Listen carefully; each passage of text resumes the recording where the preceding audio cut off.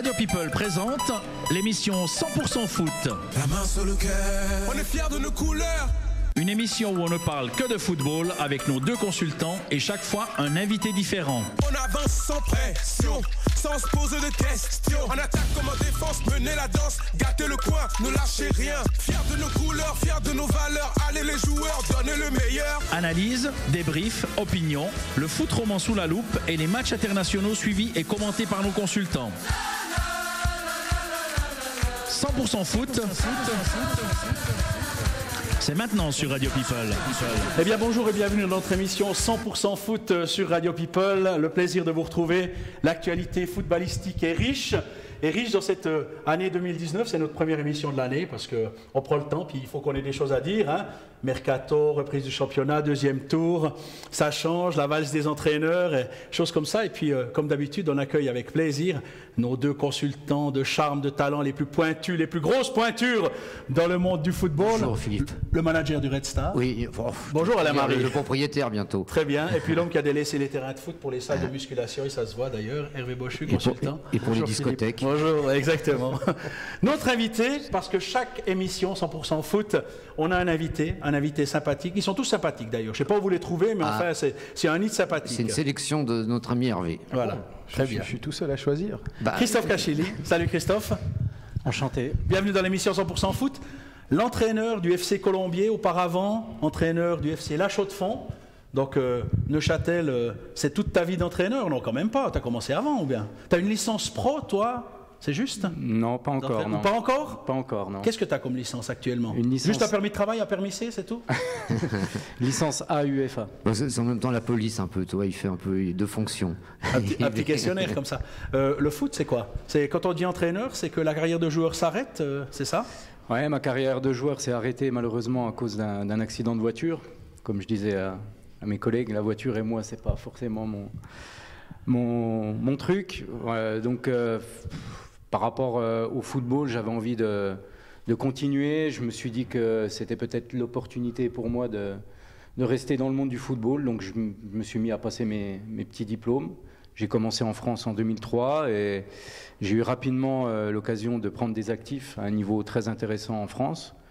Et puis maintenant, ben voilà, ça fait 18 ans que je suis entraîneur. Quand on quitte le terrain en tant que joueur et que c'est pas de sa propre volonté, euh, il y a une frustration au début. faut gérer ça, faut un peu l'accepter, euh, même si on reste au bord du terrain en tant qu'entraîneur, mais faut faire un travail sur soi-même aussi. Je vais pas faire le dur, mais c'est vrai qu'il y a eu des, des périodes difficiles quand on maîtrise pas justement notre arrêt. Le rêve de tout joueur, c'est de, de maîtriser justement sa, sa fin. Moi, ça s'est précipité, mais en même temps, euh, voilà, ça me fait connaître d'autres sensations. C'est vrai que entraîner, je pensais pas adhérer. En étant, en étant joueur, on a des plaisirs qui sont tout autres. Puis finalement, euh, voilà, plus, plus j'y allais, plus je me passionnais pour ce métier. Et j'en ai fait justement mon métier à la place de, de professeur de PS. Il a fallu faire des choix. Et j'ai choisi ce métier-là parce qu'il est, il est extraordinaire. Entraîneur en Suisse, entraîneur en France, il y a une différence, il y aurait une différence. euh, le salaire ou je sais pas. ou- Euh, moi, je suis un faux frontalier, ne faut pas croire. Euh, le salaire, non, non, non, puisque quand je suis parti à Chaux-de-Fonds euh, depuis la France, c'était pas une raison d'argent, puisque j'avais le même salaire, contrairement à certaines personnes peuvent penser. Euh, non, c'était surtout le projet qui m'a de, de- du FC La Chaux-de-Fonds à l'époque qui m'a permis de partir. Mais entraîner en Suisse, entraîner en France, c'est le même boulot, c'est le football qui est différent. Maintenant, moi, ma vision, elle est claire. Je, fais le même boulot il y a 15 ans qu'aujourd'hui, mais je le fais peut-être de manière un peu plus pointue. Ça, c'est clair. Être entraîneur, tu dit, c'est adhérer à un projet aussi. Ça veut dire qu'il y a un président, il y a un comité, euh, il y a une équipe, il y a une vision. Et on correspond, on correspond pas. Avant de penser aux joueurs qui sont sur le terrain, puis l'attaque, la stratégie des matchs, il y a d'abord une vision du club à laquelle on doit adhérer.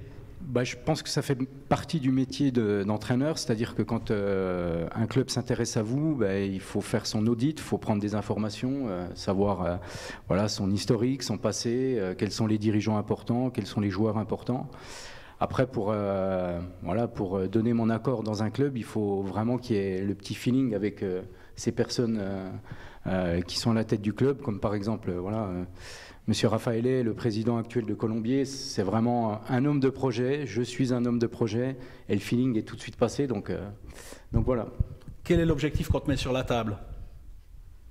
On dit voilà, dans six ans, Super League? C'est ce qu'on dit dans le canton de Châtel en général. Six ans plus tard, on est en Super League? À Chaux-de-Fonds, le, projet était de, faire grandir le club et puis de l'amener euh, en Challenge League euh, voilà, sous six années. On était sur le point de le faire. Malheureusement, ça s'est interrompu de manière un petit peu prématurée. À Colombier, c'est un peu différent puisque euh, on est en partenariat avec Neuchâtel Xamax et du coup, bah, l'objectif est de, préparer certains joueurs de la post-formation de, Xamax à éventuellement intégrer l'équipe première. Donc euh, l'objectif, il est sous plusieurs ordres. Euh, faire monter éventuellement Colombier en première ligue classique rapidement et puis s'occuper également de la post-formation de ces jeunes. La jeunesse, la formation. Euh, Xamax veut une formation d'IM21 forte. C'est aussi la vision. Les, les, jeunes, il faut, il faut investir dans le mouvement junior. Bah, je pense que c'est ce qui permet de pérenniser le club. Il euh, faut faire attention justement à pas trop investir avec euh, des joueurs étrangers ou des joueurs extérieurs, euh, sans s'assurer qu'il y ait des joueurs du cru, du club, qui peuvent intervenir, parce qu'à tout moment on n'est pas à l'abri de problèmes financiers. Et quand on a des problèmes financiers, c'est souvent ces jeunes-là qu'on est content de retrouver. Et pour donner une identité au club, une identité à l'équipe, c'est important que, pour que les, supporters aussi s'y retrouvent, euh, qu'il y ait des gens du cru qui intègrent euh, l'effectif senior. Après, on ne peut pas faire uniquement avec des jeunes. Il faut savoir faire le bon mélange. Belle vision en tout cas. Puis on te souhaite euh, plein succès avec le FC Colombier. c'est quoi là la reprise ici là? C'est quoi l'objectif de la saison? La saison, c'est quoi? Personnel, c'est de gagner tous les matchs, mais tous les entraîneurs sont comme ça, donc forcément qu'il y en a qui vont être déçus. Euh, l'objectif, c'est de figurer dans le haut du tableau le plus longtemps possible et de continuer à prendre autant de plaisir avec mes joueurs, parce que j'ai des joueurs qui, qui adhèrent énormément euh, à mon projet, et euh, j'en profite pour les saluer, parce que je ne suis pas toujours voilà, sympa avec eux, puisque je suis très exigeant avec mon staff et avec mes joueurs. Mais ils adhèrent, donc euh, on a des chances de jouer le haut du tableau. Maintenant, voilà, il y a plusieurs euh, adversaires qui sont tout aussi forts l'un que l'autre, donc on verra où ça nous mènera. Justement, en fait, euh, il y, a quand même une chose. Ça fait combien? 18 ans que tu entraînes Exactement. Donc 18 ans, tu es déjà un entraîneur expérimenté à 39 ans, en fait. Ouais, c'est ce qu'on peut dire. Mais les, les, aléas de la vie ont fait que. Voilà. Il faut les moments difficiles, il faut tout faire pour euh, trouver le positif dans ces moments-là. Et du coup, bah, le point positif, c'est qu'à bientôt 40 ans, j'ai fait pratiquement la moitié de, ma vie comme entraîneur. Hmm. Ah oui, quand même. Et ça monte direct là ou il y a des finales de deuxième inter à première ligue? Non, les finales c'est qu'en première ligue euh, classique. Là, on peut monter. Ouais, c'est le premier ah qui monte. Ah oui, donc euh, c'est jouable. Vous n'êtes pas loin là.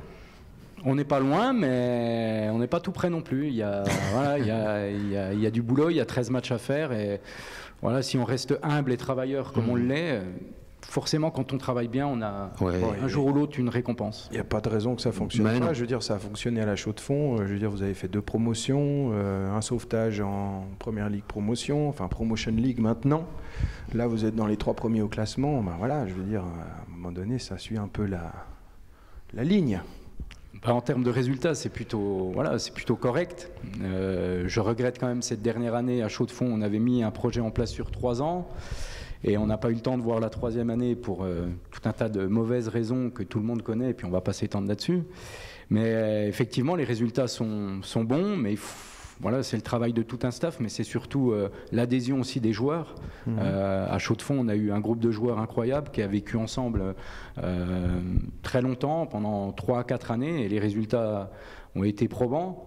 On est en train de monter la même chose à Colombier, et mmh. force est de constater que voilà, euh, Colombier euh, est, en est, en train de grandir tout doucement. Ouais, Bon, mais aussi parce que euh, on a souvent entendu dire, en parlant de ton travail ou de votre travail avec, les, avec ton staff, que vous étiez très professionnel, que vous aviez amené déjà du temps de la chaux de fond une méthode de travail qui peut ressembler à ce qu'on peut trouver dans les ligues professionnelles en France.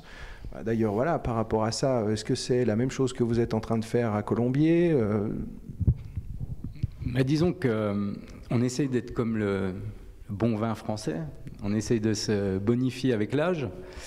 Euh, on a les mêmes méthodes à Colombier qu'on l'avait en France ou que je l'avais à Chaux-de-Fonds, mais on est de plus en plus pointu. On essaye en tout cas d'être de plus en plus pointu. Comme je vous l'ai dit auparavant, je suis très exigeant avec, euh, avec mes joueurs, donc en contrepartie, je leur offre le meilleur possible.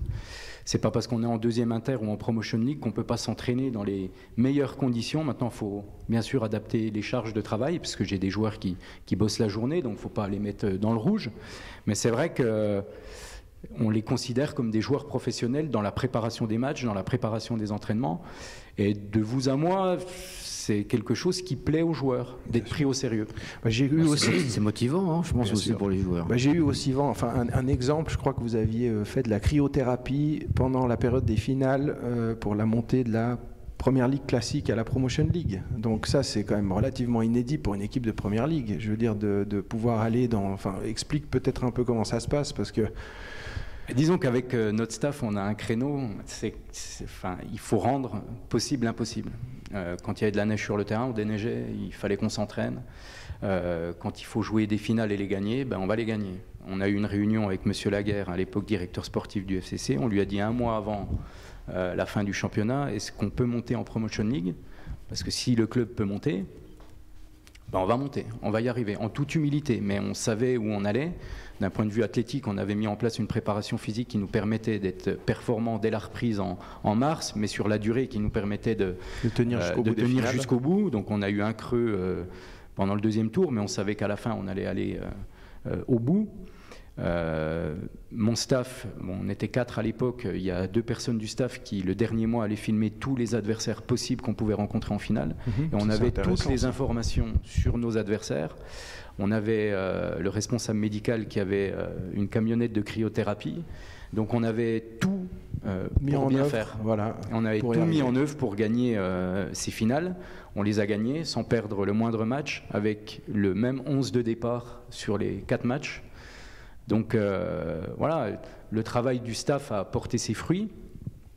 Et encore une fois, je le répète, l'adhésion des joueurs aussi. Oui, Donc, c'est- euh, c'est c'est c'est ambivalent, hein, c'est c'est exactement, Exactement. ça. Les joueurs, ils adhèrent parce qu'ils ont vu qu'il y avait un- c'était sérieux. Et je pense que, comme tu as dit, euh, à ce niveau-là, ils n'étaient pas habitués à avoir Bah des, des- des- des choses comme ça. Ça, des c'est préparations. duplicable, je veux dire, mais il y a même des clubs professionnels qui n'ont pas, je veux dire, ce, Non, bah ce, oui. ce cadre-là, cette méthode de travail, cette façon de faire. Donc ça, c'est vrai que ça gagne à être connu. Et puis, euh, non, c'est très bien.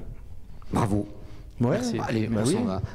Il est, il est prudent, il est passionné, il est motivé. Bah c'est oui. ça, c'est ça qui fait aussi le succès. C'est Et humble. C'est la base, c'est la base. Et oui. Bon, messieurs, on va entrer dans le vif du sujet. Oui. On est là pour parler foot. On va parler de, évidemment, l'événement, l'événement du moment qui a suscité euh, beaucoup d'émotions, euh, de tristesse, de joie, de tout mélanger. Enfin, peu importe. C'est, c'est vraiment l'événement euh, de, de- de ces temps-là. C'est extraordinaire, quoi. L'Olympique lyonnais qui fout une branlée au Paris Qatar Saint-Germain. Putain, si ça me rend heureux, ça. Oh, pardon, j'ai perdu mon objectivité de journaliste. Oh, mais ça, alors, eh, eh, alors, alors, Évidemment. eh, le PSG qui perd, alors Dieu existe. Donc, Et évidemment, on- avec les arbitres comme on a en France, c'est facile. Ah, ça y est, voilà. on va allez. d'autres choses. Allez, bon, on a des fans du PSG, on le sait. Euh, toi, tu étais au match, euh, Christophe Non Ou bien je. Non, je le suivais euh, Ah, t'as suivi, voilà, à la d'accord. télé, mais je suis très content pour mon fils parce qu'il est supporter de Lyon, donc euh, je suis très content pour lui. D'accord, très bien. Bon, de toute façon, euh, je pense pas que ça prête tellement à conséquence. Une petite défaite du, on va- Non. Paris Saint-Germain, Non, mais on va est dire que d'accord. la, la région lyonnaise rend pas forcément service aux Parisiens ces jours Non, parce qu'ils sont allés perdre à Lyon. Il ils faut, ont- faut reconnaître que Lyon a fait un, un super match. Ils ont voulu, on, on peut voir sur le match qu'on a vu à la télé, hein, je pense tous, euh, ils étaient certainement, on va pas dire plus motivés, mais euh, ils ont fait comme il fallait contre le Paris en ce moment qui est pas très bien. Donc euh, voilà, ça a fonctionné. C'est hein. pas la première fois hein, C'est pas font la coup, première hein. fois et ils ont une super équipe à Lyon, je veux dire. Et je pense que les joueurs, et dans ces matchs-là, ils arrivent à, à être euh, se sublimiser, comme on dit, tu vois. Et puis voilà, bon bah ça a marché. Il y a un penalty. ah, bah, bon, bah, c'est le Je pense foot. que hein. ça donne pas mal de crédit aussi à l'entraîneur, Ah mais qui oui. souvent est la risée de Oui, tout oui, le oui, monde. oui, oui.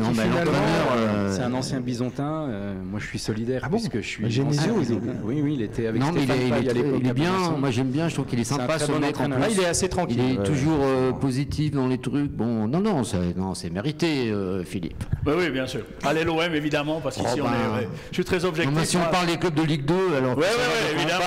On n'y est pas encore, on n'y est pas encore, tu verras, on n'y est pas encore. Bref, Mitroglou s'en est allé, putain, Dieu existe. Existe aussi. Donc, hein, donc t'as- t'as changé le prénom de ton fils alors Oui, absolument, absolument, ouais, ouais, ouais, exactement. Il s'appelle plus Costa, euh, Tu l'as acheté le jeu de Super Mario maintenant. Non, ouais, ouais, Ouais, c'est exactement. et le, et le maillot Ouais, aussi, ouais, ouais, il ouais, le plus, hein, le maillot de Nitroglou que tu avais acheté à un prix d'or au début. Non, tu, C'est vrai, non, non, plus. c'est vrai. Qu'est-ce que vous en pensez de Balotelli euh, Là, euh, c'est en deux mots, là, comme ça, vite. Pour, euh, Bah, on- que tout le monde euh, connaît le personnage. On sait qu'il peut te faire un truc extraordinaire et puis il peut te faire des matchs. J'ai l'impression qu'il a jamais fait de foot de sa vie. Mais bon, c'est c'est comme ça, hein, je crois, ce, ce joueur hein, qui, qui aime bien l'Italie. Ah bah avec la squadra, il a fait des choses qui sont Non, mais pas un forcément excusables. Quoi. Ah oui. Quand on joue pour son pays, on a, il y a des attitudes qu'on n'a pas le Oui, droit. oui, voilà. Bon, bon, mais moi, moi, comme je crois qu'on se l'était écrit d'ailleurs, je pense que c'est un joueur pour Marseille. Après, Bah, Marseille, c'est un, un match extraordinaire, un match, euh, c'est la fin des haricots, c'est un peu, c'est toujours, euh, on va dire, en courant alternatif, et c'est un peu à l'image de ses performances. D'ailleurs, à Nice aussi, hein, des fois, il était un peu transparent, mais il a quand même eu des stats à Nice qui sont juste incroyables. Non, non, ceci euh, dit. Mais faut arriver à le ça a marché, moi, je pense. Pour l'avoir vu à l'entraînement, j'ai rarement vu quelqu'un qui courait aussi vite avec un ballon. Ouais, ouais, non, mais Ah il est ouais, exceptionnel. non, non, mais Techniquement, il est très très doué. Puissance. Et hein. comme tu disais, Marseille, c'est la passion, donc c'est tout. ou Mais c'est un peu quand il a envie. Mais ça va, il S'il va- a envie, il te, il te tourne le match tout je seul. pense et- que les supporters Ah, ils hein. aiment ce genre de joueurs, les supporters, je crois, de toute façon. Philippe, il est heureux, regarde. Oui. hein. Toi, tu as tout dit. Marseille, c'est la passion depuis 25 ans. C'est beau, ça. Magnifique. Bon, Droit, bref. au, droit au but. Oui, exactement. Non, depuis plus que 25 ans, parce que si c'est depuis 25 Ouais, ans, ça, non, veut dire, enfin. ça veut dire que c'est depuis 1994. Ils, ils étaient quand même passionnés quand ils ont gagné la Champions League. Oui, bah, évidemment. ouais, ouais. Mais, mais Philippe Ça ne n'était pas né. nous rajeunit pas. hein. Hein Extra- bah non, non, non. Philippe Et- n'était pas né, c'est pour ça il, Ouais. il parle. Il parle en 64. Bon, les jeunes. Oui. Magnifique. Alors, euh, commençons par le canton de Neuchâtel, pourquoi pas On a parlé du FC Colombien, le club qui monte, et puis euh, Neuchâtel-Saint-Max qui se sépare euh, de son entraîneur, Michel de Castel. J'ai cru que tu allais dire le club qui descend. Non, Ah non. non, non, non, non, non, non, non, non. Quoique j'ai l'impression quand même, il y avait la conférence de presse hier, euh, qui est disponible sur la chaîne YouTube People TV en intégralité. J'ai entendu le président qui a donné ses... Moi j'aime bien Christian Bingli, et j'aime bien Christian Bingli quand ça va bien, puis j'aime bien Christian Bingli quand ça va mal. Donc aujourd'hui j'aime Donc tu toujours l'aimes bien, quoi. Donc tu es J'ai- bien tout court. J'aime toujours bien Christian voilà. Quand ça va moyen, c'est. Non, non, Bon, mais, je, ouais, ouais, mais moi, je, voilà, parce que c'est pas toujours quand ça va tout bien qu'on dit c'est génial. Effectivement. C'est parce que, comme il l'a dit en facile, conférence de hein. presse, il y a six mois, c'était le dieu du foot neuchâtelois, puis maintenant, euh, en fait, pour certains, c'est une merde. Voilà, ok. On connaît la, la- la- la passion et l'émotion euh, dans ce genre de choses. Mais euh, dans la conférence de presse, il y a un moment donné où, euh, tout d'un coup, on a prononcé le mot de Challenge League de la bouche du président. Alors, je ne veux pas trop épiloguer là-dessus, mais je trouve que, voilà. Euh, moi, euh, déjà. euh, Bon, on va pas revenir sur le côté émotionnel. J'avais dit que je le licencerai jamais. Oh, ça, on s'en fout un peu ici. C'est pas le propos. Maintenant, est-ce qu'il a bien fait? Et est-ce que le timing était bon? Est-ce qu'il n'aurait pas fallu attendre la fin du premier tour, avant Noël, avant la reprise, avant Young Boys, plutôt que de faire ou comment? C'est quoi votre avis, Monsieur Bauchu Monsieur. Ouais. Alors, bah, c'est simple, il y a plusieurs aspects là-dedans. Euh, on n'est jamais totalement au fait de ce qui se passe à l'intérieur, mais s'il a pris cette décision, c'est qu'il avait forcément des, des bonnes raisons de le faire. Moi, je suis juste. euh, euh, Enfin, tu dis qu'il ne faut pas revenir sur la, la question de la communication, mais je trouve qu'on a plus parlé euh, finalement de la surprise du fait qu'il le licencie euh, parce qu'il a toujours prétendu que- qu'il serait toujours en poste, chose qui, dans le football, je veux dire, est juste infaisable. On le sait très bien.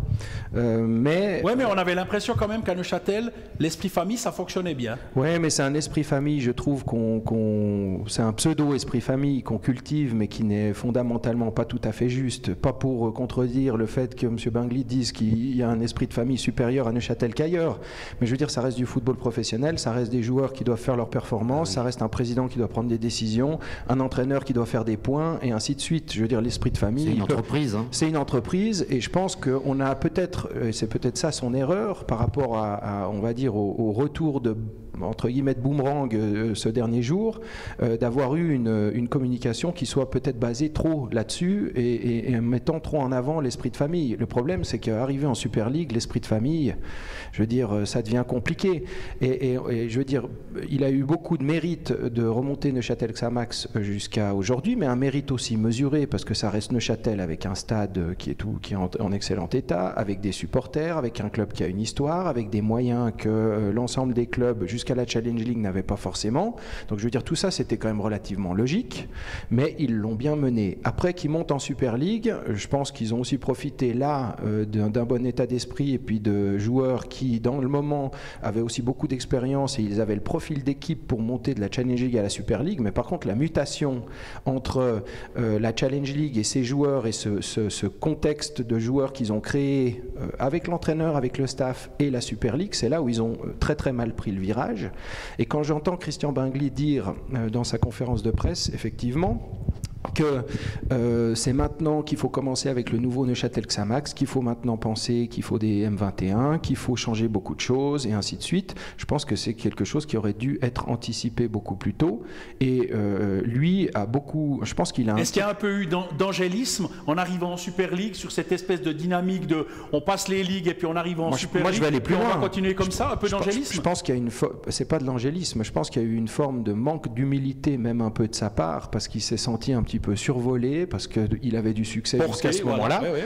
Aujourd'hui, il en revient, il le reconnaît dans son interview, mais je trouve que c'est six mois trop tard. Et le retard, moi, le- le- la crainte que j'ai, c'est que tout le retard qui a été fait et toute la constellation qui a été construite, même avec les joueurs, avec les méthodes de travail et ainsi de suite, est-ce qu'il n'est pas déjà trop tard pour prendre cette décision? Et mon- à mon avis, c'est la dernière qui Il aurait sonne. fallu par exemple un directeur technique dès le début de saison, par exemple? Un directeur technique ou déjà une structure qui soit mise en place. Il parle d'une structure de recrutement et ainsi de suite. J'ai d'ailleurs toujours du mal à comprendre pourquoi il engage Sébastien Fonbonne que pour trois mois.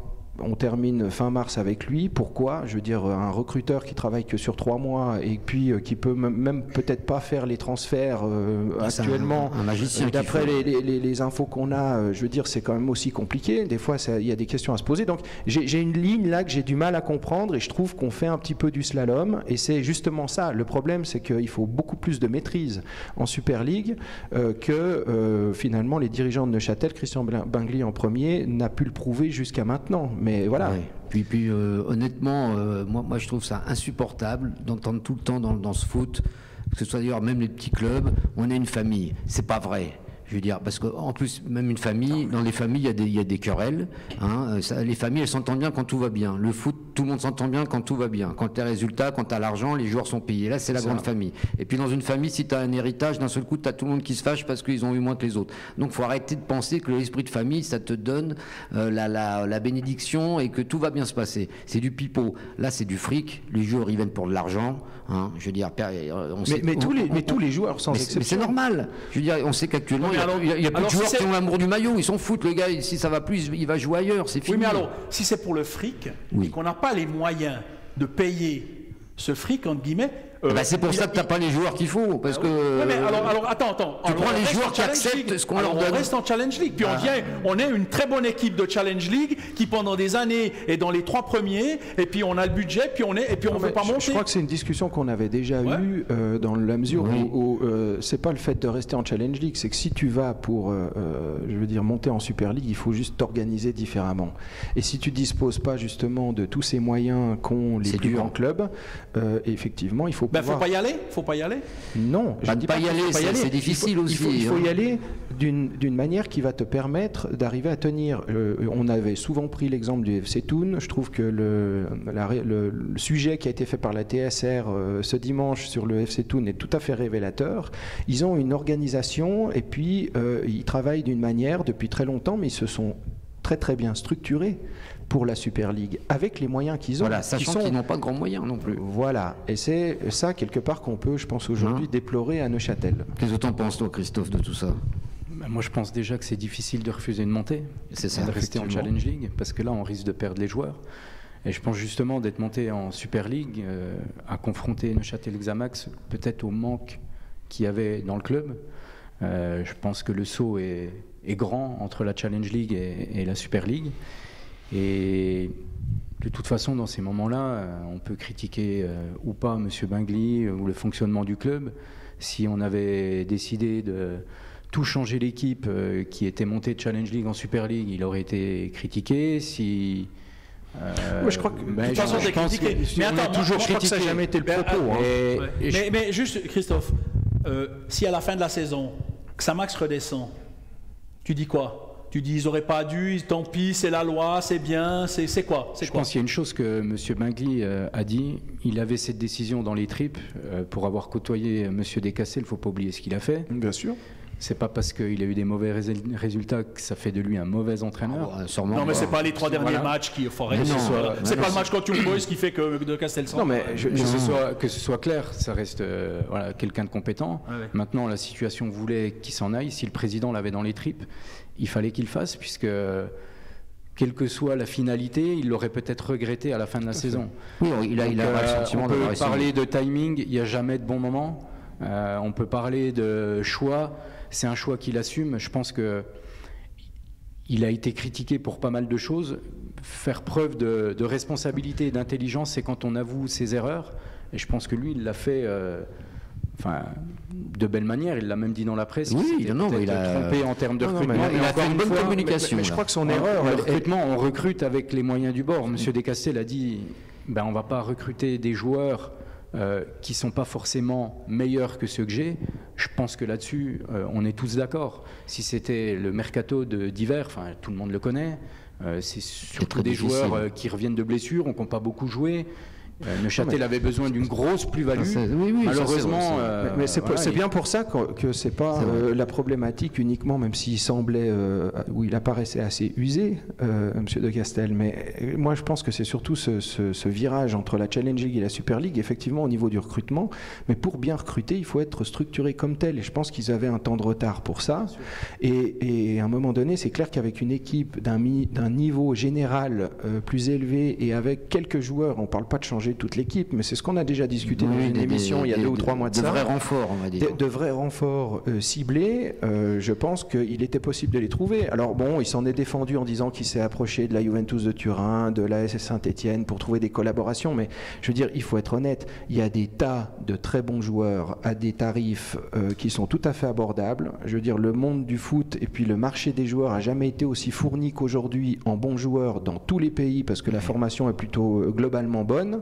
Je veux dire, il n'y a jamais eu autant de bons joueurs. Il faut simplement avoir les connexions et les, plans. Et ça n'est pas qu'une question de budget. on l'a vu. Je veux dire, euh, il faut savoir juste faire éclore les joueurs. Toon, euh, avec les moyens qu'ils ont, même s'ils ont un déficit régulier structurel, ils arrivent quand même toujours à vendre des bons joueurs qui arrivent à éclore chaque année chez eux. Ils en perdent, ils se refournissent, ils continuent. Et c'est des joueurs qui démontrent qu'ils peuvent même après jouer sur la scène européenne. On prend l'exemple de Sanogo, de Fasnart et ainsi de suite. Pourquoi Neuchâtel Xamax ne serait pas capable, alors qu'ils n'ont euh, pas un contexte moins bon que Toon, de réaliser la même chose. C'est juste un travail en profondeur et je pense peut-être que les montées sont allées un peu vite pour avoir aussi le temps euh, de se structurer de cette manière-là. Je veux dire, c'est un club euh, francophone. Quand tu vois, on le voit avec la, Coupe de France à chaque fois, tu vois des équipes de National 1 ou de National 2 qui tiennent tête je veux dire, dans le jeu, c'est pas que sur un match, tu sens que c'est quand même, parce que c'est tous des anciens joueurs de Lyon, hein, je pense des centres de formation à Villefranche par exemple, qui n'ont pas passé le cap, qui jouent là, bah, tu as, des super joueurs, je veux dire, qui sont, euh, je pense ces joueurs-là, tu leur dis tu peux venir jouer demain à Neuchâtel Xamax en Super League, ils vont venir. Mais après, bon, ben voilà, il faut aller, il faut savoir où, comment. Euh, euh, on, ça, on, en a parlé d'un du Paris Football Club. Je veux dire, ça, c'est pas, c'est pas Monsieur Bingli qui doit faire des ah téléphones pour ça, ni même l'entraîneur. Il doit y avoir une cellule qui est aussi capable d'amener des dossiers et tout ça. Bon, ils sont en train de la créer. Hein. ils sont en train mais, de la créer. Mais, je pense après six mois et vu le retard, la situation sera difficile pour cette saison. Périlleuse. Voilà, on, on est en, droit de le penser. ensuite, hein, on sait comment c'est. Hein. De toute façon, je veux dire, en Suisse, surtout, mais même ailleurs, mais en Suisse encore plus, de toute façon, tu es toujours critiqué. Hein, tu choisis le blanc, on va te dire oh, putain, il fallait prendre le rouge, c'est comme ça. Donc, de toute façon, la critique, les gens, quand tu lis un peu les commentaires, euh, des fois tu te marres. On sent que tu as des gens qui ont leurs idées toutes faites depuis des années. Euh, ceux qui ne l'aiment pas, ils vont dire de toute façon, non, non, c'est pas bien, vous aviez dit. Et puis voilà. Moi, je pense qu'en effet, il a certainement fait quelque chose euh, qu'il ressentait, et pour ça, c'est euh, la seule chose à faire dans ces cas-là. Quand tu es dans cette situation, c'est comme tu dis, finir à la fin en te disant Ah là là, j'aurais dû J'avais la conviction qu'il fallait que je il savait, il savait que c'était plus facile pour lui, hein, je pense, de le garder quelque part. Tu vois ce que je veux dire, dans un sens bah, D'une certaine manière. Pour lui, et puis euh, voilà. Humainement, tu vois, pour les critiques. Pour les joueurs, parce que je crois que certains joueurs ont été un peu, ah bah, tout le monde, surpris. Mais s'il y a une chance de s'en sortir et ah, que pour lui ça passe par le licenciement de M. Descastel, bah, eh ben, c'est respectable. C'est respect, bah oui. tout simplement. Après, il l'a dit, c'est dans les tripes, donc euh, forcément il va tout donner pour. Euh, bah, il a ressenti euh, et c'est aussi hein. un message qu'il envoie à ses joueurs. Et je pense que Neuchâtel, Xamax pourrait aller les voir tout le monde parle de la qualité des joueurs, tout le monde parle. Enfin, c'est- c'est pas devenu des joueurs de seconde zone comme ça.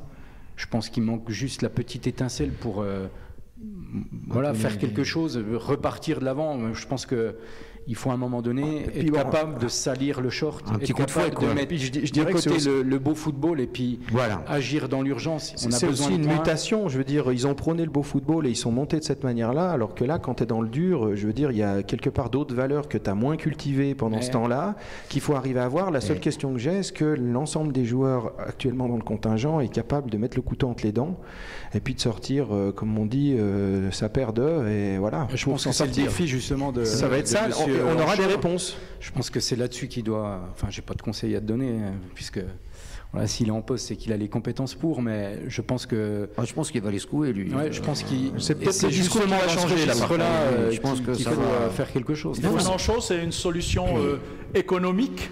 Si je peux me permettre, c'est un peu méchant pour lui, mais c'est une solution économique. C'est-à-dire que, bah, par exemple, cas- un Jacobacci, on n'a pas les moyens de se le payer, donc on dit on met en chaud et Ce puis serait voilà. pas un bon choix, là. non En tout cas, légitime, il est adjoint. euh, je pense qu'il mérite d'avoir sa chance. Connaît bien groupe. il connaît, il les joueurs, tu vois, un, un qui va arriver, même si euh, nous on, on trouve que c'est un très bon entraîneur, hein, Jacobacci, mais je veux dire, il va arriver dans un contexte qu'il connaît pas, avec des joueurs qu'il connaît pas, les mentalités, les caractères. Il va perdre un mois. On n'a pas le temps, on dit, on n'a pas le temps. Moi je pas le pense. temps, hein. et puis je pense que lui, il a quand même une, euh, un, un caractère qui est plutôt à secouer le cocotier plutôt que de laisser les joueurs dans le confort. Et je pense que peut-être certains joueurs, c'est aussi de Ouais. ce dont ils ont besoin. Mais oui.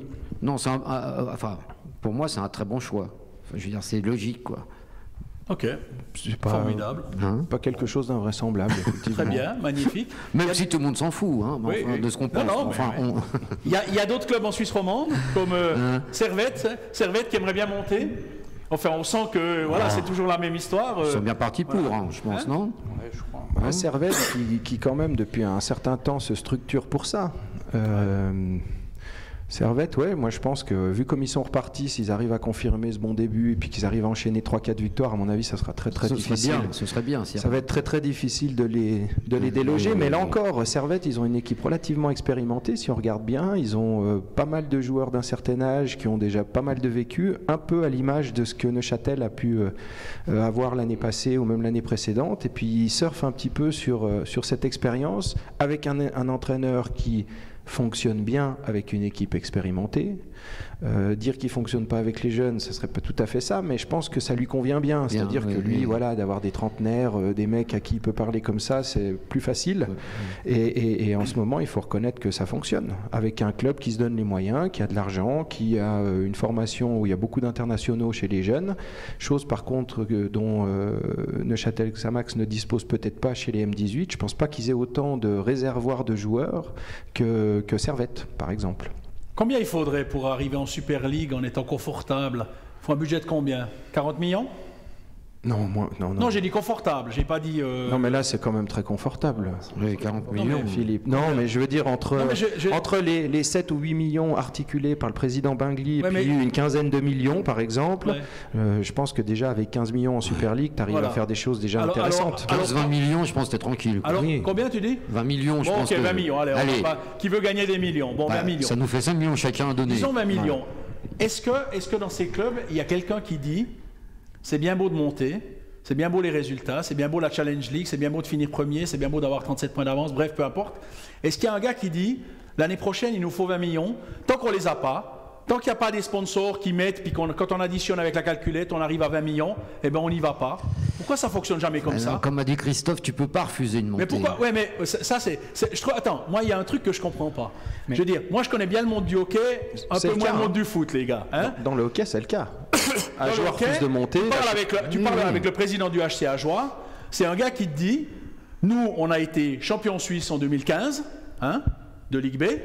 Nous, la Liga, c'est pas pour nous. Ah oui, Pourquoi le- le Parce que qu'en Liga, hein. en Liga, les 30 millions pour être un club ou 25 millions ou 20 millions, on les aura jamais dans le Jura. Donc on va rester en Ligue B. Ah oui. On va faire une nouvelle patinoire, on fait nos trucs, puis on va arrêter de vouloir entre guillemets se la péter, puis viser cette fameuse La chaux de fond, je veux dire la chaux de fond qui a aujourd'hui le même 6 discours. millions au HCC, ils disent qu'il faut de Même toute façon discours. 15 millions pour Voilà. obtenir en, en- Exactement. Donc en économiquement, Liga. on, on les a pas.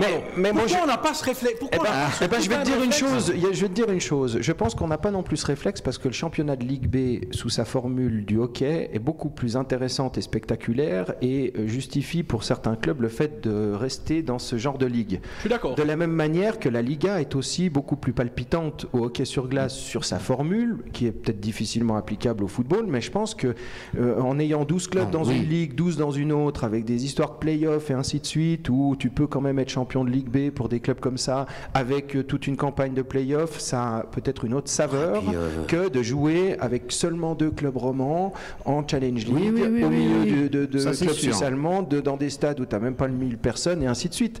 Oui, Je mais pense le- qu'il y a aussi un le- peu de le- ça. Je pense qu'aussi parce qu'en Suisse, les gens préfèrent le hockey, au, enfin en tous les cas en Suisse romande, je pense que les gens préfèrent le hockey au foot. Je veux dire, ça c'est une. Bah, en Suisse romande, il y a des on- questions, on- euh, il y a des- on- a parlé questions à se euh, dans d'autres émissions, il y, a, il y a un désintérêt du football roman en Suisse romande. Je veux dire, euh, quand tu vois Servette, les stades vides. euh, Moi, le- je, je pense que c'est facile pour euh, un club de hockey de, de deuxième division de dire oh, pff, vaut mieux rester en deuxième division parce que on sait déjà que c'est très très difficile de monter en Liga. Hein, faut, le dernier de Liga, faut le battre. Et c'est Oui. un- Oui, il y a aussi ça. C'est vrai que la, la ligue est plus fermée. Donc euh, c'est facile de dire ça. Après, en ce qui concerne le foot, euh, de, de dire bon ben voilà, on n'a pas les 20 millions. Moi, je pense que c'est aussi une logique de travail. Hervé, il parlait de structure. Un club, c'est ça. C'est, il doit être bâti sur un projet. Où on est, où on veut aller, Qu'est-ce qu'il faut faire qu'est-ce qu'on doit mettre en place Alors, c'est pas uniquement sportif, c'est pas uniquement une construction d'équipe, c'est une construction de club, des éducateurs de jeunes euh, pour la formation. Euh, euh, une, cellule médicale, une cellule une cellule médicale.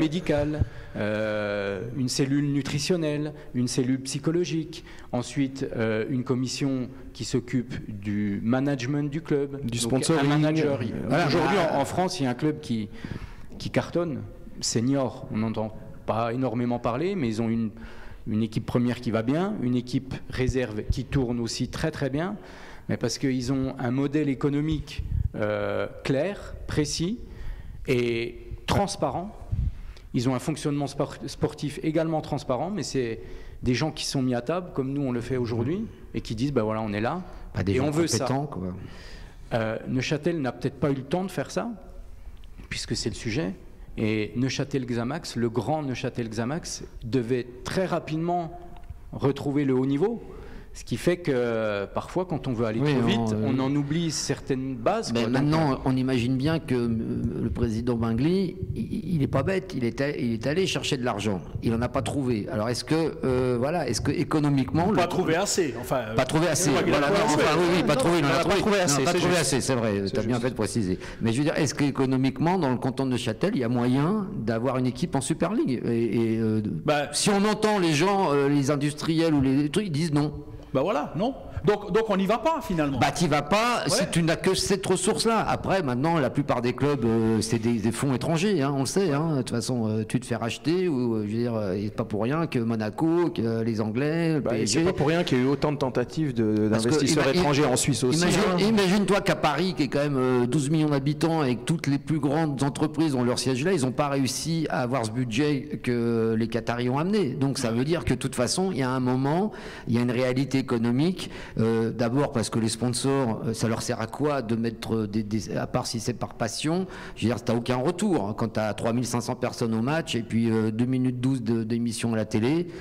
Je veux dire, t'as- ça te sert à rien, tu vois ce que je veux dire. Ah, S'il n'y a pas d'autres idées derrière, peut-être. Moi, moi, euh, tu connais ma position. Je dis Euh, Paris. Qatar, Paris, Qatar, Saint-Germain, hein, parce que pour moi, je trouve que ça devrait être interdit.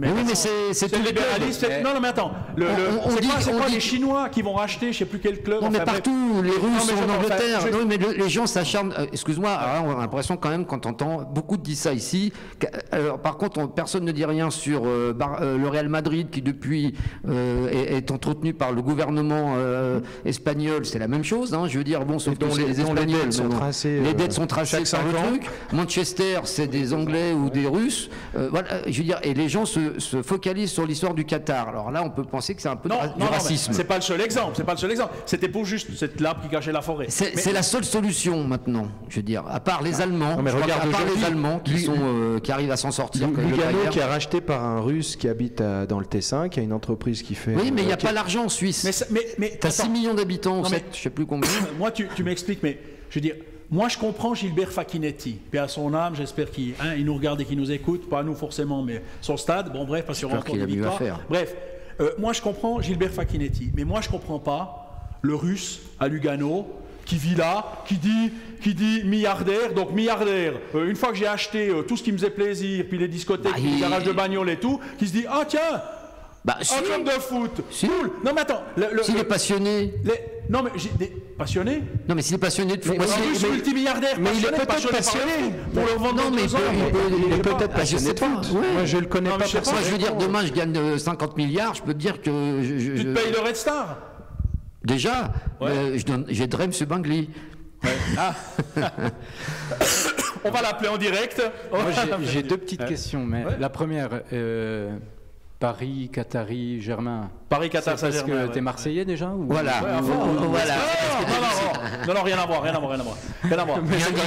Voilà, C'est quand même le cas. Non, non, mais non, non, simple- simplement, attends, moi, je dis à Neuchâtel, pour, puisque tu es Neuchâtelois, à Neuchâtel, il devrait être interdit de vendre Neuchâtel-Xamax, le club de la ville, le club du canton, à Bulat Chagaïev. Tu me diras, ça n'a rien à voir, c'est passé, c'est fini. Ça veut dire que c'est Ça en interdit. arrangeait Pour bien moi, certains, Pour moi, moment. pour moi le, le, le- le Servette FC, le Lausanne Sport et Neuchâtel-Xamax, un club du canton, le FC Sion, un club du canton, il devrait y avoir un partenariat public-privé. Ça veut dire que le canton est actionnaire, pas majoritaire, mais actionnaire du club, pour empêcher ce genre de choses.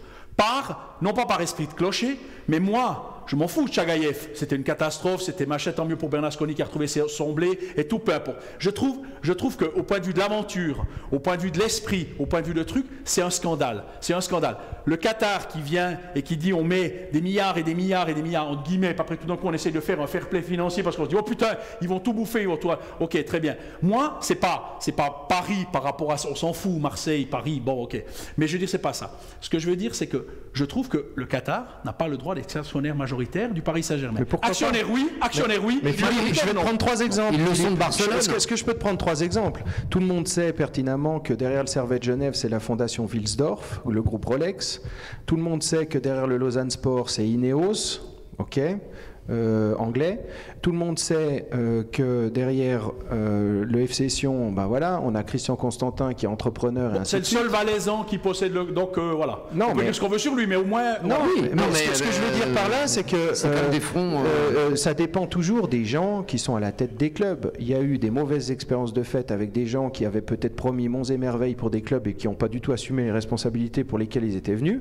Et puis tu en as d'autres qui, visiblement, euh, Ineos, qui est actionnaire majoritaire du Lausanne Sport, qui a tout racheté, qui, pour une histoire de papillon, ne peut pas construire son, son- son centre d'entraînement. Je ne sais pas si vous avez entendu ça. Un papillon rare à Boussens qui les empêche de construire leur, leur Parce qu'en fait, c'est une zone euh, protégée. Une zone euh, protégée. Zone naturelle protégée, c'est. Parenthèse fermée. Ah ouais. Mais pour dire, c'est des Anglais, je veux dire, ils ont de l'argent, ils ont l'air d'avoir un projet, laissons-leur, euh, bon voilà, même si sur, sportivement on a beaucoup critiqué ce qui était fait, et puis peut-être qu'on aura encore l'occasion de le faire, mais, mais je veux dire, Servette, euh, c'est c'est Rolex derrière, je veux dire, finalement. Donc euh, avec des gens du coin qui essaient de gérer le club. Si tu as des gens bien et des gens sérieux, je vois pas pourquoi il devrait pas y avoir des, je veux dire, regarde les grands clubs, à Chelsea, tu as Abramovich, tu as de toute façon des investisseurs étrangers partout. Dans tous, les, dans tous les championnats. Pour moi, il y a une différence entre actionnaire et propriétaire. Enfin, Mais ils, ils sont- pas la. Bah, en Allemagne, en ils ont hein. réglé le truc. Tu as, le droit d'avoir que 49% du club. Tu n'as Oui. pas le droit d'avoir la majorité Voilà. en Allemagne. et ça se passe très bien. voilà. Bah, voilà. C'est une façon de faire. Ben voilà, Oui. ben moi, je- voilà, j'adhère, j'adhère. Tout à l'heure, tu parlais de budget, donc euh, on essaye d'attirer des joueurs à Neuchâtel. Euh, Neuchâtel a un budget qui ne le permet pas d'évoluer en Super League. Non Donc c'est un club qui est condamné à avoir au maximum la Challenge League. Ouais. Est-ce que tu penses qu'on va attirer des joueurs comme ça? Mais Je pense que il faut, les joueurs, ils ont besoin d'ambition. Et puis les gens, ils ont besoin de rêver aussi. Ouais. Malheureusement, c'est comme ça. Le, ça. le- le- le monde du football maintenant est, est basé sur euh, La l'argent, et la réussite rapide, malheureusement. Les et gamins- l'argent et la réussite rapide. Et je pense qu'on réussit pas rapidement sans argent. dans la conférence Euh, de presse. Lugano, Luga- Lugano qui a été repris, je me permets, mais Ah ouais. Lugano qui a été repris par euh, ce monsieur russe, si dans trois ans ils reçoivent le Real en, en Champions League, euh, tout le monde serait content. tout le monde sera heureux.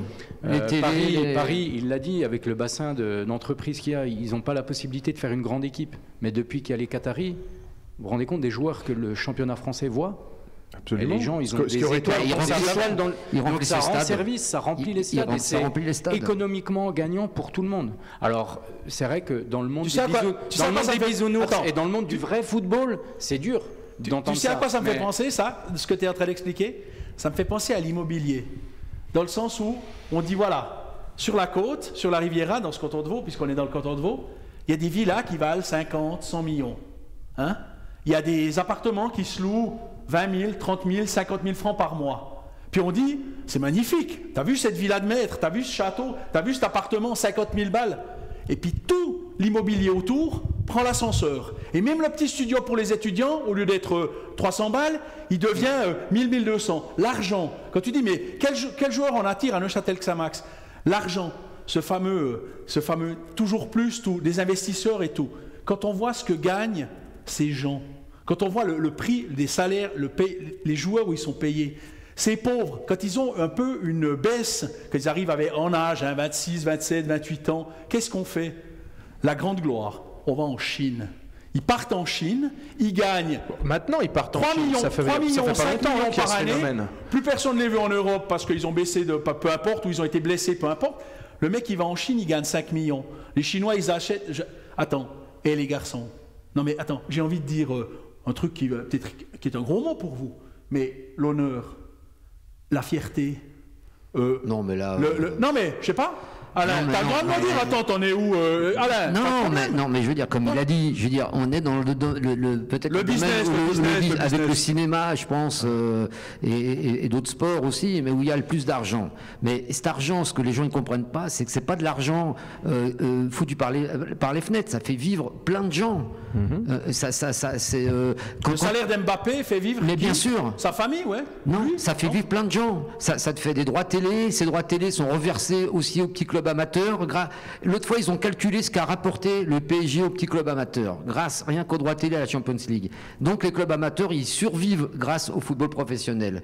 Et comme, comme il l'a dit, ça te remplit les stades, ça te vend des maillots, ça te fait, ça te Non, fait bouffer je veux des dire, boutiques. après, c'est un autre débat, Philippe. Je veux dire, le fait que les Tu joueurs ils gagnent plus ou ils, fini. gagnent, ou ils gagnent trop, je veux dire, c'est encore un autre débat. Je veux dire qu'on peut, que je peux comprendre. hein. Je veux dire, c'est après, fini, la, moralité ou l'immoralité là-dedans, on peut en Non mais le- le- la fierté des joueurs, attends là, je crois que malheureusement euh, c'est l'être humain et, et euh, là Non, mais sont- je veux dire, on- on- on- même dans les clubs espagnols, la fierté d'être dans tel ou tel club, alors il y a le côté marqué, l'appartenance et tout ça, mais je veux dire, si le Real Madrid donnait pas les salaires qu'il donne et si Barcelone donnait pas les salaires qu'il donne, je peux dire qu'il y a certains joueurs qui se tireraient. Donc ils ont beau mettre en avant le fait qu'ils ont l'appartenance du maillot, oui, certes, mais bon, ils ont toutes les Mais, conditions. mais aussi si pour. il sait que nulle part ailleurs il aura ce salaire déjà. Alors après il peut dire qu'il adore Barcelone. Oui, sûrement qu'il aime bien Ah oui. de ce qu'il y est. Mais c'est parce dire, que déjà, il touche parce il qu'il il touchera pas ça ailleurs. Donc il y a, euh, Déjà, il faut bien comprendre que moi, je viens d'un monde modeste, hein, donc euh, je cautionne pas forcément ça. Mais c'est la Euh, réalité. Mais on est obligé de s'adapter.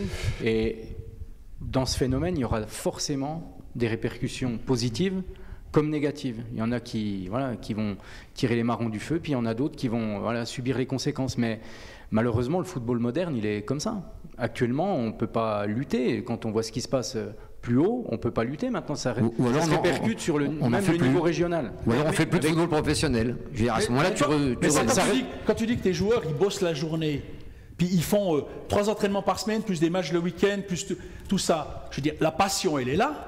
Enfin, je veux dire, dis-moi dis quand tes joueurs font ça pour le fric chez toi. Mais ils ont, Non ils ont, Pourquoi ils ont énormément, éno- énormément de respect euh, de ma part.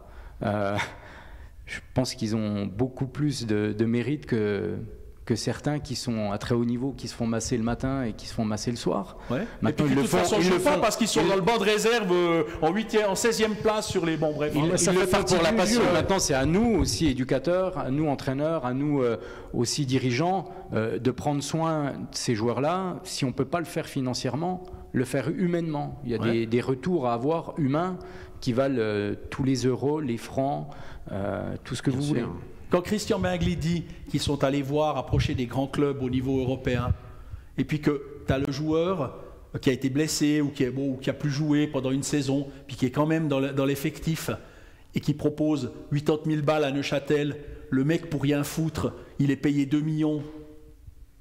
Un million et demi, deux millions, et, il- et il n'en branle pas une, il joue plus. Mais il est dans son club. Et il dit, ouais, et il parlait de la Juventus de Turin où il y avait le catalogue. Et où ils ont, ils ont, ils ont dit, il y avait un catalogue de joueurs. Tu veux celui-là, Oui, tu veux. bon. Et il a dit, on peut les tester? Non, vous les testez pas. Vous mais prenez, alors, vous prenez ça pas. se passe pas Alors, euh, systématiquement comme Bon, ça déjà, non plus, je veux dire. Doucement aussi avec la Juve quand même. Ouais. Non, mais c'est égal. Oui, déjà. Et Non, mais il y a pas que ça, c'est les agents qui ont bien bossé dans la négociation des contrats. Voilà, c'est c'est juste ça. Non mais Philippe, à un moment, c'est si on part de ce principe, on dit alors on arrête le football professionnel en Suisse, par exemple, hein, puisque la Suisse c'est un petit pays, qui a pas, on sait, il n'y a pas beaucoup de gens qui veulent mettre de l'argent dedans, et puis tu fais un championnat de troisième ligue euh, euh, De football d'état, lui. de, de football d'état, lui, voilà. Et puis là, bon, mais même même dans son équipe, tu as un jeune, on va dire qui a 18 ans, qui fait un match, comme ça se passe maintenant, hein, ça va très vite. Si tu as quelqu'un, tu as un phénomène dans ton truc, euh, FC Sion le prend, hein, ou euh, IB balle. Il lui dit voilà, maintenant tu viens chez nous, on te file euh, 10 000 balles par mois, machin. Il, il va y aller, le jeune. Et c'est normal. Bah oui. Je veux dire, c'est- aussi le but de, pour vous, c'est peut-être de former une fois aussi de dire tiens, ce jeune, il a été formé chez nous et maintenant il joue à la Juventus.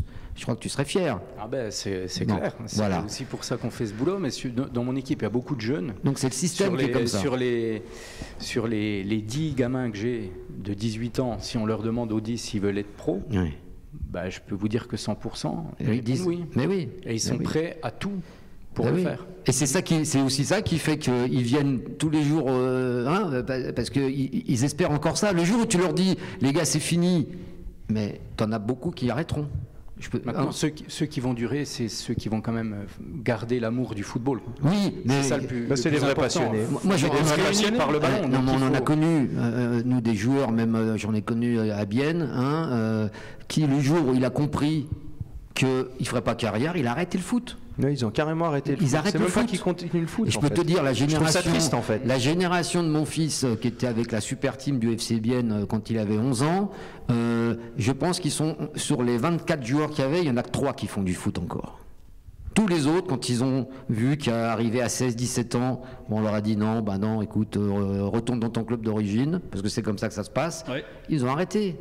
Parce qu'ils avaient honte de retourner déjà dans leur club, tu vois, parce qu'à l'époque c'était un peu les fieros et tout. Donc voilà, c'est. Tu sais, moi j'étais à chaud de fond en Promotion League avec des joueurs euh, quasi professionnels. Aujourd'hui, deux niveaux en dessous, j'ai un joueur qui a dû se mettre à 80% au boulot pour assister aux entraînements. Je trouve ça magnifique. Voilà, oui, ah, bah, ça. Je trouve ça incroyable. Et c'est vrai que Là, ils perdent ça- de l'argent pour faire du foot. Ça équilibre par rapport à tout ce qui se passe au-dessus. Euh, je pense que. Mais moi, j'applaudis. Ah et puis il mérite d'être applaudi. Euh, ça contredit la théorie des deux messieurs qui sont à la même table que toi euh, dans les salles Non, minutes. non, ça mais contredit pas, ça contredit pas. ça, contredit pas On n'est pas en train de prôner le Non, football non, professionnel. non, non, ça contredit pas. Mais le même joueur, j'imagine, je ne sais pas quel âge il a, mais s'il a encore la chance de faire une carrière, si demain il peut faire une carrière, il le fera. Et, c'est normal, et, tant- mieux pour lui.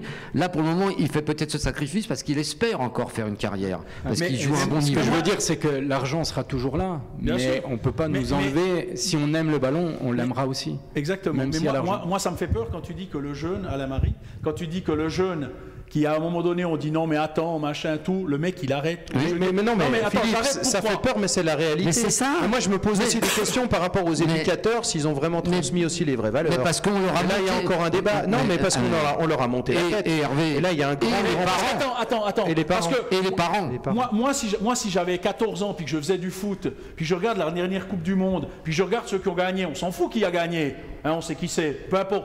Puis qu'on voit, oui, alors il y aura euh, 500 000 de primes, euh, 300 000 de primes, des euros, euh, 400 000 de primes, puis t'as le mec qui dit, ouais, bon, moi, moi, ma prime, vous pouvez la donner pour tel et tel, parce que de toute façon, moi, dans mon club, enfin, je veux dire, un truc comme ça. Et puis, euh, les, gamins, qui- enfin, ceux qui ont gagné la Coupe du Monde, la moyenne d'âge, ils ont quel âge? 24, 25 ans, 26 ans, bref. Et le, gamin qui a 14 ans, il se dit, mais attends, moi, je, je- je suis le nouvel Mbappé, hein, parce que moi, je veux. bah, je- non, mais je veux dire, c'est- c'est c'est la folie, quoi, j'entends Bah dire. oui. Hein, alors voilà. Bah, Chaque fédération, à chaque fois qu'il y a une victoire en Coupe du Monde, le, je Bah, la- explose. le nombre de, de licenciés licenciés explose. Euh, voilà, c'est assez hein. régulier. Donc, euh, Mais il faut bien Ce que je veux dire, moteur, ce que je veux dire, c'est que j'aimerais que ça, ça, ça ruisselle, tu sais, le- l'expression française, le ruissellement, tu sais, euh, hein, on fait Non, pas mais- d'ISF parce qu'on veut du ruissellement. Ben, que ce soit un petit peu plus, et puis que ton joueur, il ne doit pas travailler à 80% au lieu de 100%, il peut continuer son job à 100% parce qu'il a un peu quelque chose. Voilà, je veux dire. Enfin, moi, je Mais trouve- c'est le même rêve, euh, euh, Philippe, c'est le même rêve des rappeurs qui euh, voient les rappeurs américains milliardaires qui roulent dans des machins, qui veulent faire du rap pour ça. Ils veulent, ils font pas du rap euh, pour le plaisir mais du rap, ils font le- du rap pour le gagner problème, du fric. Philippe, aujourd'hui, le mec qui est acteur, c'est la même chose. on est dans une telle- star. On est dans une telle société du paraître qu'aujourd'hui les gens ils veulent atteindre euh, quelque part la gloire pour ce que ça représente plutôt que pour la le chemin parcouru ou le voilà. ou plutôt, plutôt, plutôt que pour la discipline et la passion pour la Mais discipline bien pour sûr. laquelle ils s'engagent. Et- C'est- ça le fond du problème. Et Il y a beaucoup de joueurs, ils arrêtent Ah parce oui, que oui. les parents aussi, hein, ils aimeraient bien que leur gamin fasse ça parce qu'on gagne beaucoup d'argent, il y a Ah, la sûr. popularité, il y a tout ça. Mais non, le discours il est différent et les éducateurs, on a un rôle tous autant qu'on est à les ramener à la réalité, à leur dire non, si tu fais cette discipline, aime déjà cette discipline et puis si tu la fais, bah, si tu la pratiques, c'est que ça doit te plaire avant tout. Et puis après, si en plus, je veux dire, tu as des prédispositions et puis que tu travailles bien, bah, peut-être que tu atteindras un niveau qui sera celui qui... Voilà, fais du mieux que tu peux par rapport à toi. Mais- Finalement, c'est une question Mais de... tu sais, euh, dans les interviews qu'on fait dans les écoles en France, euh, dans une classe, je sais pas, des gamins, gamines de 14 ans, euh, quel métier tu veux faire plus tard Si tu résumes la réponse générale, c'est connu. Ouais, c'est ça. J'aimerais être je vais connu. ouais. Après, tu dis, mais tu veux faire quoi? Ben, Un truc où je peux être connu. Voilà. Voilà, donc ce que ça représente, hein, et pas la discipline. Pas la discipline. Voilà, le, le football, il y a l'argent, c'est comme ça. Maintenant, c'est aux éducateurs, à nous tous, d'inculquer les vraies valeurs, les rappeler en tout cas. Parce qu'il faut faire avec l'argent, mais il faut pas oublier les valeurs du football, du sport. Et combien il y en a qui restent sur le carreau de ces jeunes Ouais, Hein parce qu'on parle des stars, on parle. euh, voilà, Non, mais les stars, c'est un petit pourcentage infime. Voilà, c'est fait- le haut de la montagne, mais il y a tellement de, de- de- de joueurs, de- d'humains du coup, qui sont déçus, qui, qui, qui ratent leur carrière à rien par une blessure, par un Et il y en a accident. beaucoup plus, par- hein. on n'en parle Et pas. puis, on n'en simplement. parle pas de. Et puis il n'y a pas la place pour tout le monde. Je veux dire, il y a- il y, a plus de joueurs que de clubs, quoi. Je veux dire, en tout cas de clubs pro, tu vois ce que je veux dire. Donc quand tu vois en France, c'est ces jeunes qui sortent des centres de formation, qui sont hyper talentueux. Mais c'est bien comme- pour ça qu'il y a des tas de bons joueurs aussi pour le marché suisse. Alors je ne refais pas référence à Neuchâtel Xamax, mais il y a des tas de bons joueurs Ah, en oui. Europe. Mais oui. Euh, il y a des tas de bons joueurs qu'on peut euh, avoir ici. Ça, c'est une certitude Mais, pour des euh, tarifs qui vont très bien dans les, dans les, dans les tarifs On suisses. voit de plus en plus des nationales 2, des nationales Ah non, attends, pour qui- qui- accrocher. Bah, déjà de bon niveau, 1. déjà bien joué, on les voit bien jouer. France, euh, tu vas le, les grosses tu vas le, dimanche matin à la porte de Pantin, tu as un terrain où tu as plein de joueurs, des, des- beaucoup des, des, des joueurs de la banlieue qui jouent. Mais tu vois le niveau des mecs comme ils jouent et ils n'ont pas de club. Et un il te dit ouais je viens du PSG, euh, j'étais à Caen, voilà.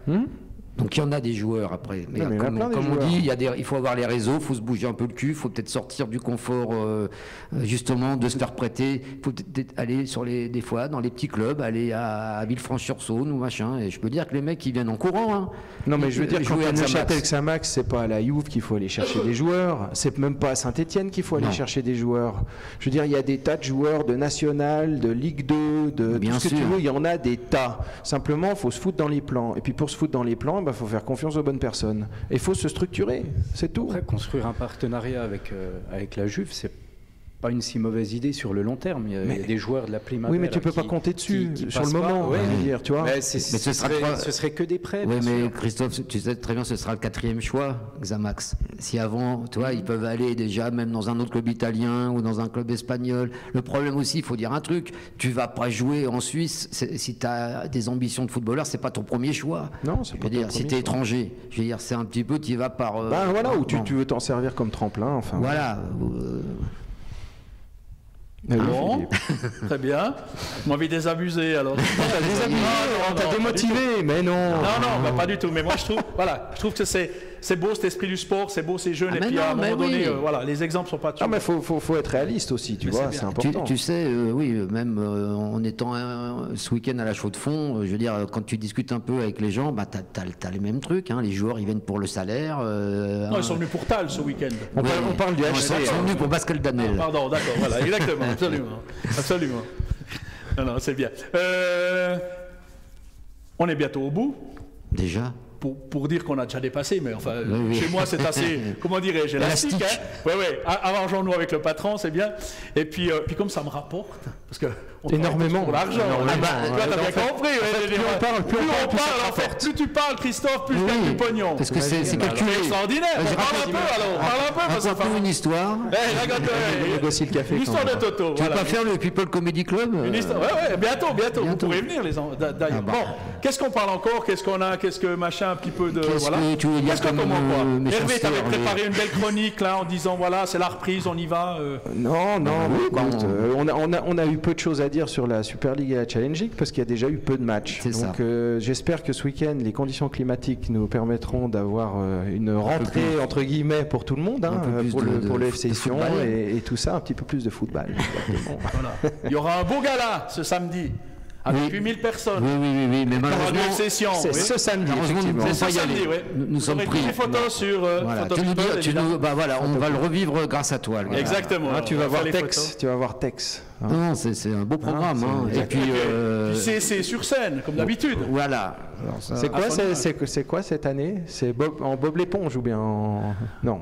C'est quoi le thème euh, Top secret. là, Ah, c'est Non, secret. ouais, c'est secret. Non, parce qu'on a, il y a eu quoi? Il y a eu Napoléon, il y a eu. euh, Ouais, il y a- il y a tout. Oh, bah, il y a Il a eu y euh, président Camillo, hein, une fois, quand... euh, non, non, oui, oui, c'était Ouais, là, il y a un peu, comme ça. Ah bah, je dire. Oh, bah, on lui fait confiance pour Elvis, Elvis. Elvis. Elvis, ouais. Jésus Christian Constantin, ouais, comme disait Yann Lambiel. Non, c'est magnifique, c'est magnifique de mettre 8000 personnes pour un repas de soutien d'un club valaisan. C'est pas mal, hein, Et de, chapeau faire, et et Hein. faire- et de faire manger une choucroute alsacienne. Eh ouais. Voilà. À, 200 à 250 balles. Mais ouais. Eh, eh, plus d'un million, plus d'un million de bénéfices dans la soirée pour le club. Plus d'un million de C'est bénéfices dans la merveilleux. soirée. C'est merveilleux. Non, ça paiera la moitié de ton euh, cachet, Philippe. C'est bien. Ça, ça, Ouais, ouais, bien sûr. ça fonctionne, c'est formidable quand ça fonctionne. Je Bah Il n'y a rien à dire là-dessus. Non, mais voilà, il faut, il faut attendre avec qu'il Ce se serait bien que les gens aussi qui vont au repas de soutien, ils aillent un peu voir les matchs de foot aussi, tu vois. Je suis pas sûr qu'il y en ait. Ouais, ouais, je suis pas sûr non plus. ouais, ouais, ouais. Il a Hein fait de cet événement le truc où faut être. Voilà. Au, au match, voilà. faut pas forcément Bah, être. tu- mais- tu- voilà, bah tu vois, tu viens de mettre le doigt dessus. C'est ce qu'on dit depuis longtemps. Les clubs de foot, le jour où ils vont comprendre, tous, hein, d'ailleurs même les petits clubs, qu'il faut rendre attractif le- le- un match de foot euh, le, le- et faire que ce soit l'endroit où il faut être, et ben là ils auront gagné. Et ça se fait maintenant dans beaucoup d'endroits, mais pas en Suisse. Et puis, s'il vous plaît, en rajeunissant le public aussi. Ouais, mais oui, Parce que, mais oui. alors, euh, c'est rien contre le public âgé, mais le problème, c'est qu'il y a beaucoup, il y a beaucoup de gens âgés. Les jeunes ne vont de pas jeunes. parce que les pas jeunes ne vont pas. parce les que c'est pas l'endroit où il faut être. Exactement. Parce que tu t'en kikines un match de foot maintenant. Tu vois ce que je veux dire T'as pas grand chose.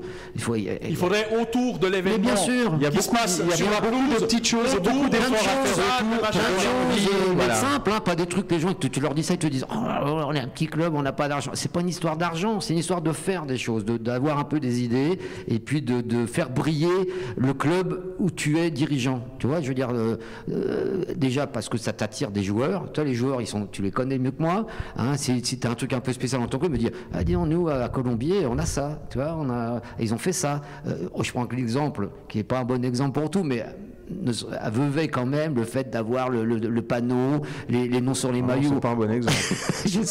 Les noms sur les maillots. Non, mais c'était quand même une.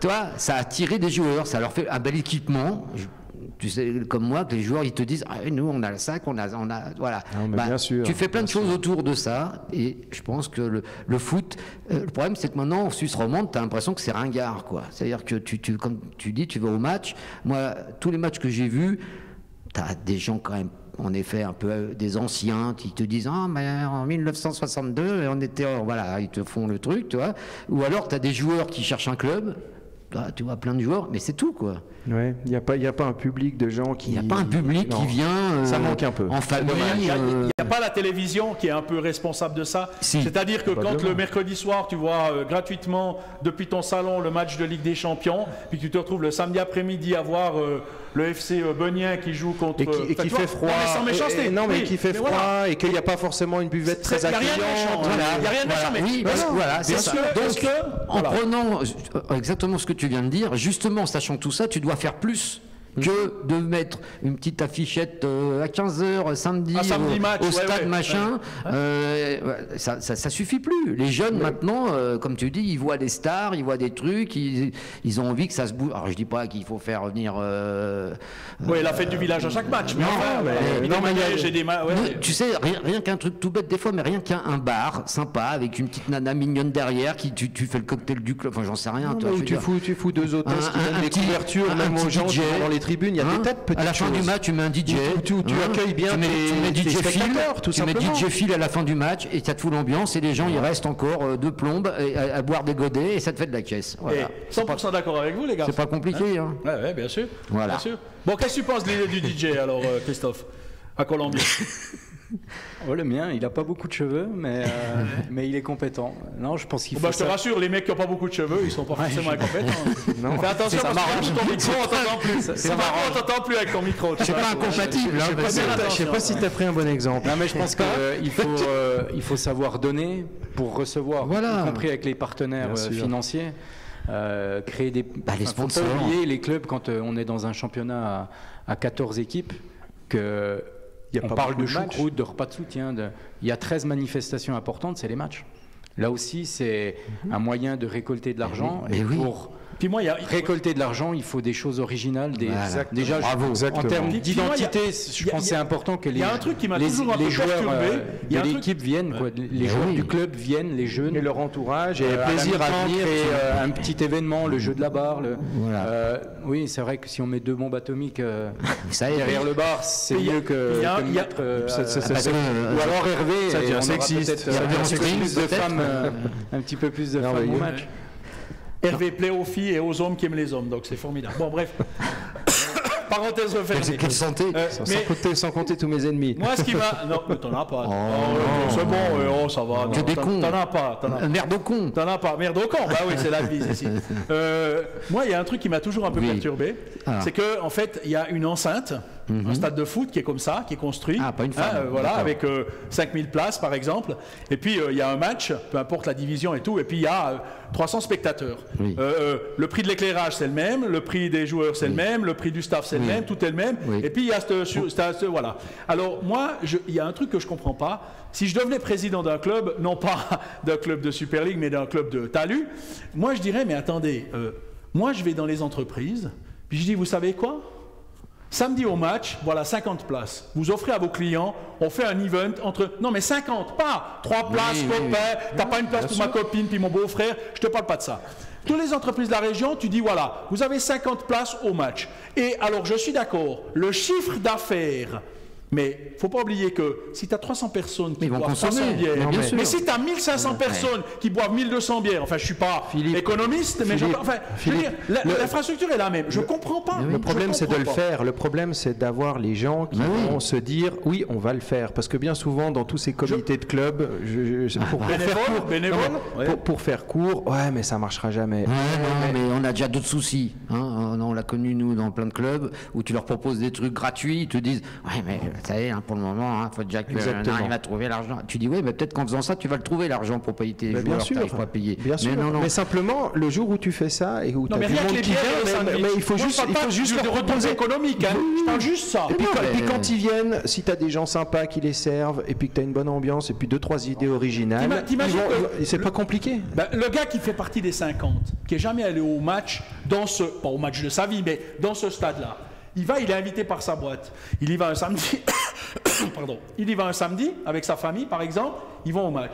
Ils ont passé un bon moment. L'équipe a gagné, si ça se trouve, peu importe.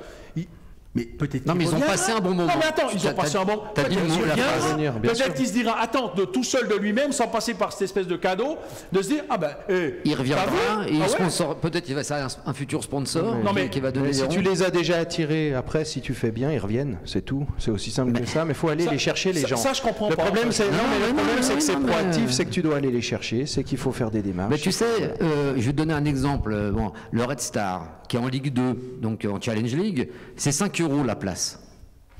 Bon. Bah, ils ont 3000, 2500, 3000 personnes. Et comme tu dis, bah, les 5 euros, peut-être euh, ils auraient pu le faire à 10 ou 15, hein, parce que c'est le prix qui est en Ligue 2. mais, non, mais- c'est 3000 pareil quand euh, merguez, machin, tout ça. Et puis quand tu as une affluence que tu peux justifier de 2000, 3000 personnes par match, tu vends ton panneau de match à un prix Voilà. différent de si tu as 300 personnes. Et quand tu vois déjà qu'ici, que ça. je m'excuse, je sais pas combien c'est chez vous, mais euh, en première ligue, euh, quand tu étais entraîneur de Vevey, tu payais euh, 16 francs euh, le truc. bah, je trouve que c'est hyper cher, 16 francs. Ou alors l'erreur qui a été faite à l'époque de faire payer, je crois, euh, en, euh, plus cher en tribune qu'à un moment donné pour euh, distinguer tribune, oui. alors que tu avais ta tribune qui était Tu jamais fais pleine. tu Je veux fais, dire, non, mais laisse tu- venir tu les fais gens. tout à 10 francs. Tu fais Bah, Il y a des gens qui sont plus venus. hein. psychologiquement, Il y a- des gens hein. qui sont plus venus. Mais oui. Bah voilà. Tu fais 10 balles. Et le Je but, c'est d'avoir du monde. Si tu as du monde, ça devient vertueux. T'as de l'ambiance. Après, pour revenir en famille, s'il faut mettre 40 francs euh, en famille, certaines familles ne Elles peuvent pas. Non, mais avec les, tu Ouais, fais les enfants, tu- les enfants, les enfants les femmes, gratos. Tu fais gratuit pour les Tu gamins. fais les enfants, les femmes gratos ou euh, Je voilà. vous disais, il faut accepter à un moment donné de laisser un peu et puis Bah pas oui. pas C'est ça. demander trop pour C'est ça. pouvoir Oui, Pour oui. recevoir, pour recevoir moyen terme. C'est ça. Si tu vas au Lausanne Hockey Club, en place assise, tribune nord, tu payes 54 balles ta place. Et ils font un prix pour les enfants. C'est 48 francs. Oui. Donc si tu vas avec ton gamin au match du Lausanne Hockey Club, Arrête à 100 balles. hein, je vais rien dire d'autre sur ce club, Ouais. euh, tu vas avec ton gamin et toi, t'as déjà 100 balles. Attends, 100 balles et puis t'arrives, il bières à 5 balles et les machins. Ils ont trucs, qu'une seule chance, Non, c'est mais- que bon, oui, C'est qu'ils ont mais ils te ont dire- qu'une seule chance, c'est qu'il y a une telle demande de place par rapport à leur capacité qu'ils peuvent aujourd'hui se le permettre. Après, ça devient la loi du marché, elle n'est pas forcément euh, très sympa le jour, où les résultats suivent plus, euh, les gens y vont. Deux fois, ils se disent Oh putain, on a dépensé 200 balles et on a vu une purge et c'est fini. Exactement, c'est juste. Très bien. Voilà. Dernier sujet, parce que je vous aime bien. Bon. Ça fait deux heures qu'on aurait dû arrêter, mais ça fait rien, c'est pas grave. Je veux dire, Il est quoi Une heure, bien, une et demie là, c'est ça Tu voulais nous dire quelque chose Non, moi je. Petite chanson euh, Hervé, euh, une histoire de Toto peut-être ou- Non, ça, le ça- foot, ça- non ça va, ça va bien. Non, non, non. non. Euh, bah, On aurait pu parler de l'AS Monaco, mais ça aurait été drôle. quand même. Euh, L'AS Monaco, oui, euh, mais je sais pas si les gens euh, ils savent où c'est Monaco ici quand même. Ah oui. Non, mais c'est rouge et blanc. C'est rouge et blanc. Ah oui. Tu vois, c'est un pont, c'est en travers. C'est vrai, oui, oui. En Monaco aussi, on peut, on peut rire un peu de ce qui s'est passé à Monaco. Mais... Qu'est-ce qui s'est passé? Parce que pas tout le monde suit. Bah, euh, tu vires un entraîneur, tu lui files 18 millions d'euros et tu le reprends 5 mois plus tard et tu euh, refiles 8 millions à celui qui est parti. Donc tu as perdu. euh, là, là c'est de l'argent. Alors là, je suis d'accord avec Ça toi. t'a coûté 26. Là, c'est de l'argent foutu par la fenêtre. Ça t'a coûté. Voilà. Bon, bon. Donc là, je suis totalement d'accord avec toi. C'est Ah, n'importe Jardim, quoi. il a racheté quelques Euh, immeubles au Portugal, tranquille. Voilà. hein. Et- Qu'est-ce que t'en penses, toi euh, Parce que c'est de toi qu'on parle finalement à Monaco. Oui. C'est 18 millions plus J'ai- 18 j'ai millions, entendu son nom parle. circuler là-bas, Ben oui, c'est hein. toi. Tu veux pas le dire, maintenant tu as un nom de couverture, mais c'est toi, euh, Christophe. C'est des coins que j'aime bien. hein. Il y a Jeff Tuch, il paraît qu'il va t'appeler. Je- Ah, Jeff bah. Tuch, il devrait t'appeler dans quelques Monaco. jours. Ah, je pense que Monaco a retrouvé un entraîneur, avec tout le respect que je Oui. peux avoir pour euh, Thierry Henry. Je, Comme joueur. je pense que euh, c'était pas forcément le moment pour lui de prendre une équipe en difficulté. Euh, après, Jardim, il y a des, voilà, il est parti, il a eu une prime de, de licenciement. Eh ouais. Peut-être qu'il bosse Monaco pendant va être mois. obligé de payer, donc il est Hein revenu. C'est aussi euh, d'un point de vue financier, mais je pense que pour Monaco, c'est une Ah bonne chose parce que attention, là, on parle de Jardim, on parle pas de. C'est un très bon entraîneur. Ah oui. Et, euh, Non, mais qui un revienne, c'est bien. Et je Bien sûr. pense que ça peut passer par lui le maintien. En tout cas, comme on disait avec Monsieur Mingli, si, si le président de Monaco l'avait dans les tripes, bah, il fallait qu'il, même si ça peut paraître risible de reprendre celui qu'on a viré, s'il l'avait au fond des tripes, bah, il fallait le reprendre. Et je pense que c'est la bonne Après, c'est décision. toujours les résultats qui, qui donnent raison. Enfin, euh, si tu fais ça et puis que ça se maintient, tu Bah, diras, c'est t'as vu quel génie. Et puis si tu fais ça et que ça se maintient pas, Ouais. on dira crétin. Enfin voilà. Comme Si tu fais ça, les 26 De toute façon, millions, euh, critiquer, tout le monde s'en euh, voilà, foutra hein, s'ils se maintiennent. hein, s'ils se Exactement. maintiennent. Bien sûr. Bon, des belles émotions qui nous attendent. IB Ben oui, champion. bah oui. IB champion, forcément.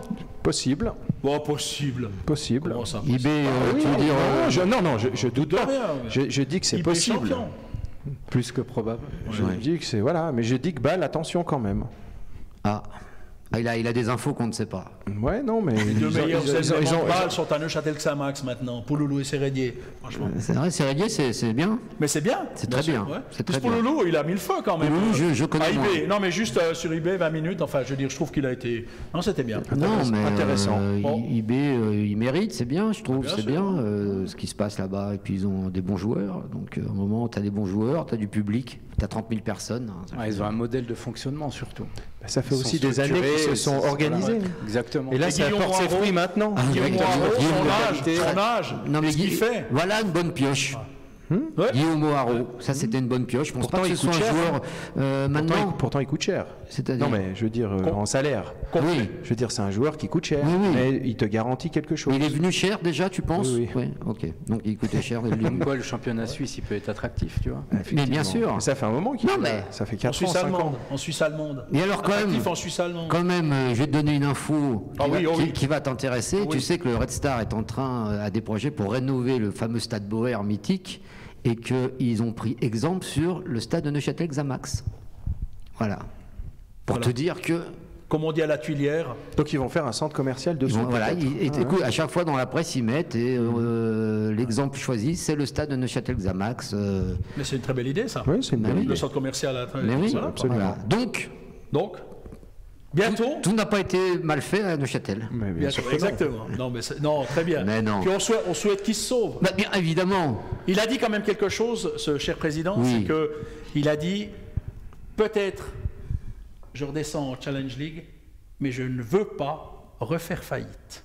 Non, non, mais Et ça, je trouve, Je crois- je crois c'est tout à son honneur. Oui. On va pas refaire le débat. C'est, je veux dire, c'est tout à son honneur parce qu'il pourrait dire euh, on ouvre les vannes de tout, puis après moi le déluge, et puis elle est belle, puis c'est Non, fini. non, bah, voilà, mais j'entends euh, voilà. pour moi, il y a deux équipes à essayer d'atteindre. Il y a Grasshopper chez qui il y a des querelles intestines assez euh, en interne là qui sont euh, qui sont assez hard et puis euh, et puis quand même Lugano. Mais c'est c'est faisable. Hein. et puis Attends, quand, et puis même Lugano qui a perdu hier contre Mathé- sauf erreur de ma oui, part. oui. Voilà. Mathématiquement, ils sont pas, euh, je veux dire, ils ont pas 15 points de retard. hein, je veux Non, dire, donc, non, non. euh, Bon, il y a trois bons matchs pour Xamax. bah, il y a euh, Lucerne ce week-end. hein, ouais. si Bah, déjà Lucerne, bon. Lucerne, ouais. Après Getse Après Getse, ouais, là-bas. ouais. Là, ces trois matchs, ils vont être un peu. Mais c'est bien pour ça que cette décision elle est tombée maintenant parce qu'il s'est dit on a ces matchs là, il faut que le s'il doit y avoir un choc, ça doit être maintenant, avant les matchs importants. Non, non, mais points. écoute, on, on croise les doigts et le reste. hein, donc, On euh, leur souhaite des points.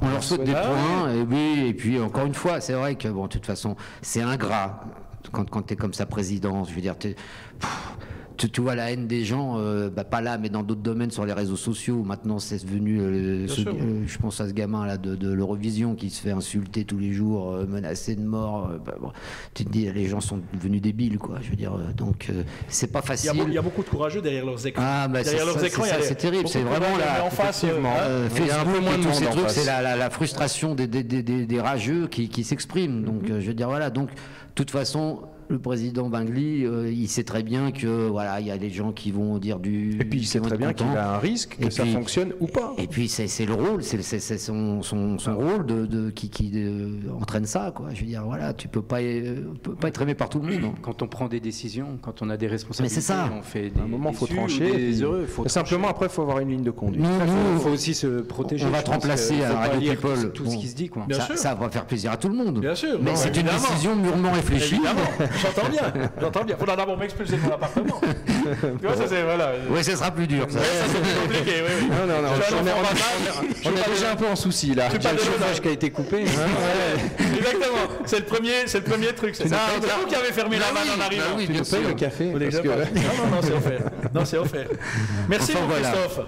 Merci vive, à vous pour l'invitation. Vive le football neuchâtelois. Voilà. Et le- et le FC et vive le FC Colombier. Et le FC Colombier. Et on souhaite- au FC Colombier que voilà, il y ait une. on souhaite les voir en première ligue. pas une promotion à faire Ah à l'issue il de la saison. Souhaitons. Pas, mais continuons à prendre du plaisir. c'est Voilà, c'est ça. Mais quand même, une promotion Première Ligue. euh, On cracherait- on cracherait pas dessus. On serait heureux de venir voir, euh, revoir Colombier parce que j'étais allé les voir. On a vu des matchs à l'époque hein, Non. en Première Ligue. Non, t'es venu quand euh, à l'époque j'étais à Soleure, on a joué contre Colombier. Et c'est je crois l'année où ils sont descendus.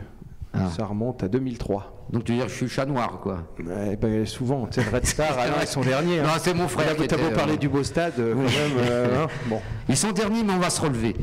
Bien. Merci beaucoup. Merci Alain Marie, de merci. Hervé Bochu. Merci à toi, euh, Philippe. De votre participation sympathique Merci. et amicale à cette émission. Puis on se donne rendez-vous euh, une prochaine fois pour avoir encore euh, plein de belles choses à dire sur le football suisse, le football international et cette passion qu'on a pour le football. Bonne continuation. Prenez soin de vous. À une prochaine fois. Bye.